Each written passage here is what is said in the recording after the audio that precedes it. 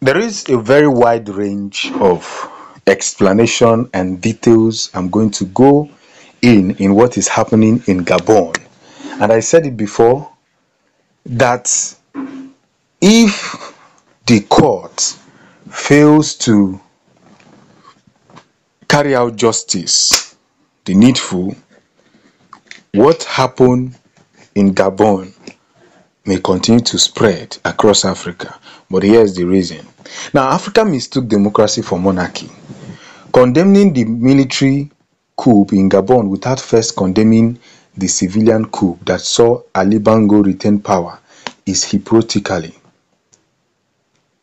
Africa should be play with people's lives and see the consequences. Days of stealing election should be over. I am telling you, with what is going around, both in Niger, both in Gabon, shows enough reason that people are already tired of politicians coming up to steal to steal. Even the military if the military thinks that when they get into power they want to use iron dome you see humans are one people that you can't control. Humans are one people that you can't control. Now here is some secrets about general Oligui Nguema the man who took over from ali bongo there's some controversial theories surrounding him we will get to that now general Oligui Nguema is the leader of the coup in Gabon. He is not only the head of the president guard, presidential guard, he is related to the Omar Bongo family as well. He is alleged to have ties with Latin American drug cartel. Listen. Now, are the Gabonese truly free? Let's see. If the military takeover shows that the Gabon are free from this dictatorship of Ali Bongo. An avenue to being free from dictatorship and France. The Ali Bongo family is working for the interests of France. It feels like a shadow have been lifted. It feels like we can hope. It feels like we can hope. These were the words of the guards, the guys that seized power in Gabon. Their own French Revolution the French staged their own revolution in 1789. They had their last monarchs, Louis XVI and Maria Antoinette, executed. So France understand they should have no objection in Gabon. Monarchy disguised as civilian rule should have no place in Francophone Africa. You see, monarchy disguised as civilian because that's what is plainly happening here. We are claiming that we are practicing democracy, but we are practicing monarchy. A system of government where one person will come and dictate what will happen in the lives of millions of people. Now, Ali Bongo family believed in Francafrique, a school of thought that promotes the dominance and pillage of former French colonies in Africa by the French. Derived from France, Africo is a slur used to describe the corruption and hidden activities of French puppets in Africa. In other words, French neocolonialism. Ali Bongo is a strict adherent of this philosophy. So France had to intervene in 2019 when the military attempted to seize power in Gabon. Back in 2018, Ali had a stroke since then, he was less and less in control of the government, the institution of the state, and the country altogether. Therefore, there was all the ingredient for a takeover, but France foiled that attempted coup. 2023 is different. France is not likely to intervene because Bongo has no legitimacy or right to rule this time. It will be funny on France's part to try to intervene.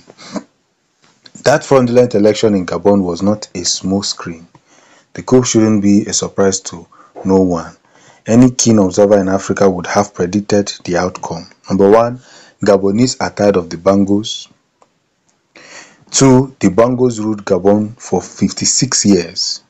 Three, that election was extremely fraudulent. Four, internet was switched off and opposition squeezed. That election was anything but. Bongo himself is completely aloof. He is yet to realize his predicament. The Gabonese themselves must be commended for their extreme patience and tolerance. Nigerians won't have allowed one family to rule the entire country for a whooping 56 years. Every ruler draws their power from the people. That is very simple. Every ruler. So before we start blaming politicians who are destroying Africa, we should look at the people that is giving them that audacity. We saw what happened the time of Tinubu. Tinubu was not the one on ground burning ballot buses, destroying polling centers, IREV machines, and the rest of them. It was his boys, people like MC Oluomo and the rest of them. But the truth is that every politician draws power from the people. Your authority is what the people say it is. Therefore, there was little or no legitimacy in Gabon. It made it so much easier for the military who had prepared in advance. They had their speech prepared. As soon as the fraudulent election result was announced, the military turned the internet back on and announced they were taking control. Now, it's left to be seen if they will relinquish power back to Gabonese. Like every military takeover, men of the barracks are always so reluctant to leave. What starts in part to correct the mistakes of the past end up leading to probably more mistakes than what had come, come prior to it. When you go about removing black democracies, when you go about stealing election and elongating your rule in Africa, know that the fire will enslave you. The copies must now either 1. Reposition Gabon and reorient Gabonese away from France and Western influencers, or seek new allies altogether. They might draw inspiration from Guinea, Mali, Niger, Burkina Faso, a move away from Western influencers or neo-colonialism. Whatever happens now, the AU, ECC, AS and ECOWAS will be more concerned with stability at their borders. They are keen to restore civilian rule more than the EU and UN and France. Instability will lead to food and refugee crisis. Maybe even their militaries will start to have other ideas. Now, this is a very simple quote I must say. The wave of coup sweeping across the continent is giving them some very cold shivers, which we saw Tinubu saying they will do all they can to avoid the coup contag contagion. I'm the rulers in those countries, I'll be very anxious too. They will have to rethink their strategies and think fast. Once they lose their grip on power, the legitimacy to tell the people what to do will be very difficult. Then it's game over. Paul Biya of Cameroon, Faure Gnassingbe of Togo. We saw what happened in Togo, where people staged a protest like the EndSARS and soldiers came and see, I don't know what is wrong with the black people. I honestly do not know. Theodore Obiang of Equatorial Guinea and other sit-tight rulers must be sleeping with their one eye open. To install their own puppet rulers, the French may begin to carry out their own preemptive coups in their African colonies. Someone amenable to the West and France, Francophone Africa should be watchful, be on, on alert. No French puppet should be allowed to rise to power through coup.